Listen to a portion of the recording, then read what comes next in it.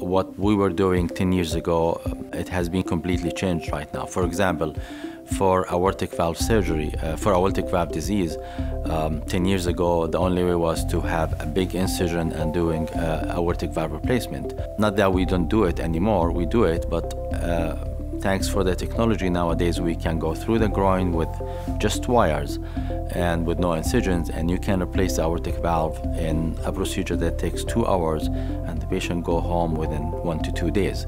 So that's a huge advancement.